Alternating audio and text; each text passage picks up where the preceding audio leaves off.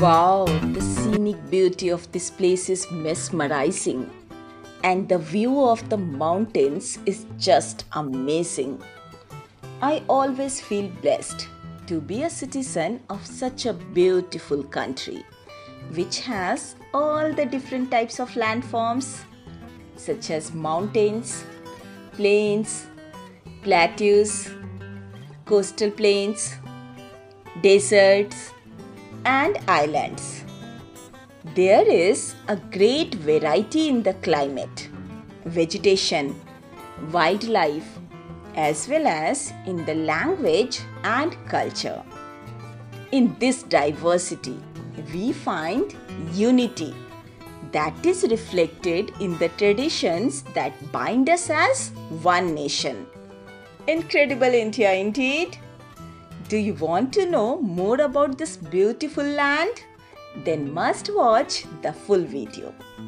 India has an area of about 3.28 million square kilometers. The north-south extent from Kashmir to Kanyakumari is about 3200 kilometers and the east-west extent from Arunachal Pradesh to Kutch is about 2900 kilometers. You would be surprised to know that India has a population of more than 120 crores since the year 2011. It is the second most populous country of the world after China.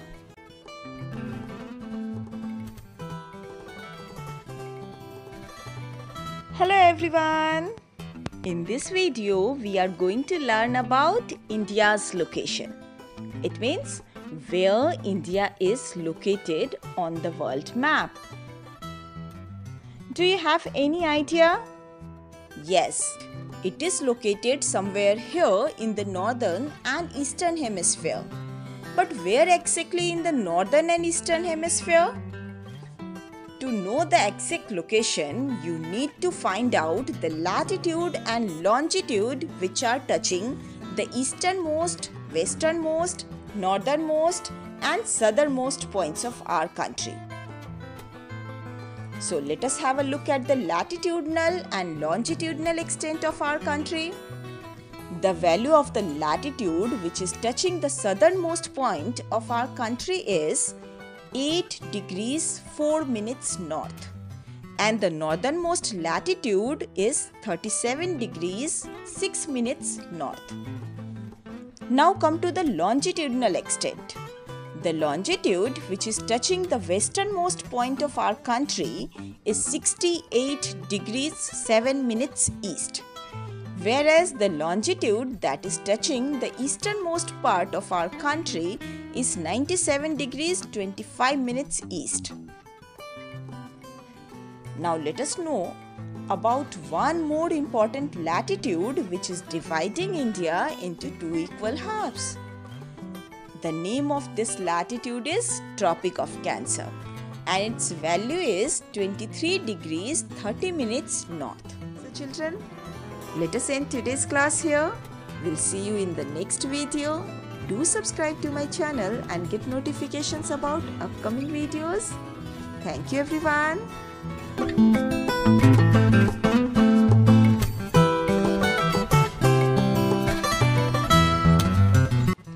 Everyone. In this video, we are going to deal with some facts and figures which are very important. You'd be curious to know what I'm talking about? It's about the land.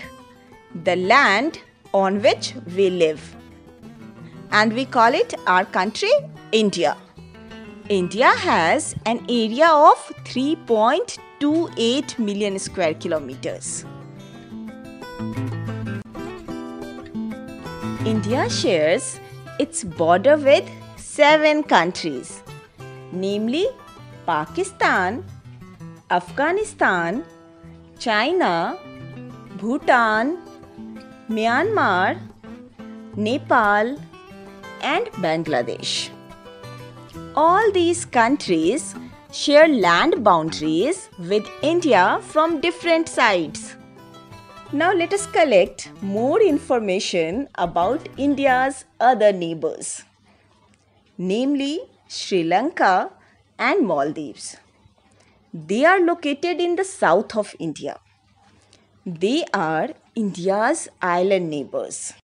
Sri Lanka is separated from India by a narrow channel of sea formed by the Palk Strait and the Gulf of Mannar while Maldives Island is situated to the south of Lakshadweep Island.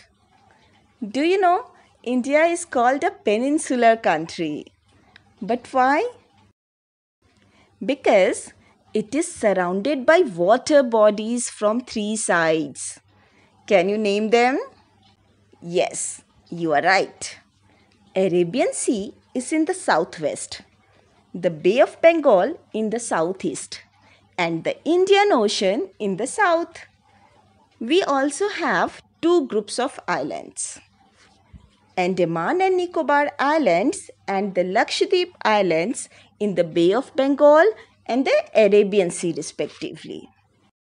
So children, let us end today's class here. We'll see you in the next video. Do subscribe to my channel and get notifications about upcoming videos. Thank you everyone.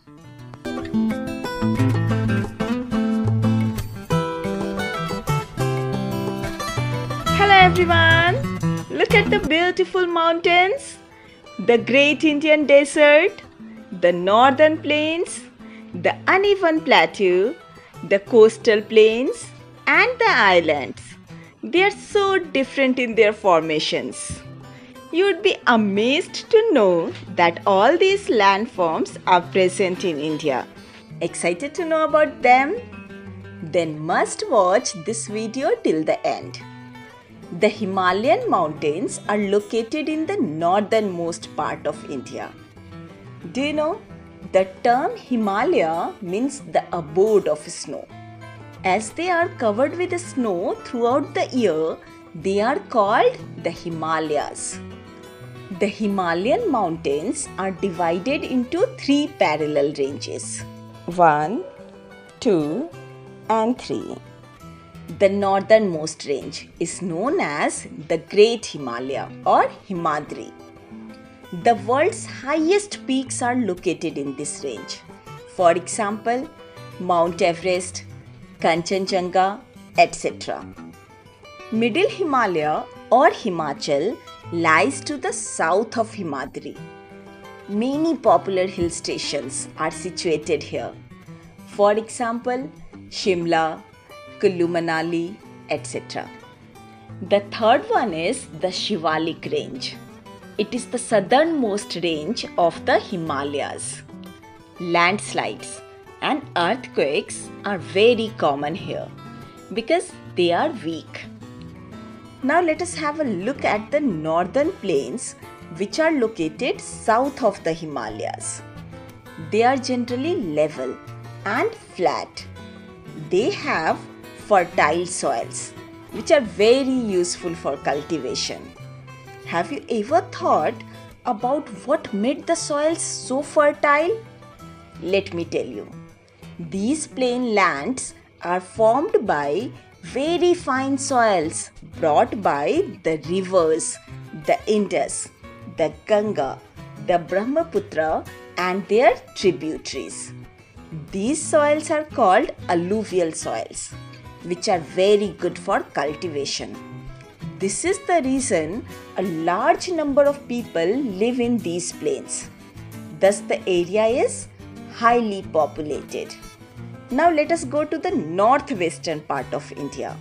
Here, you can find the Great Indian Desert because the area receives very little rainfall. It has sandy soils and the temperature is very high. This dry, hot, and sandy land has very little vegetation. Hope this is clear to you. In the next video, I'll explain you the features of plateaus. So let us end today's class here. Do like and subscribe to my channel if you want to watch more such interesting videos. Thank you everyone.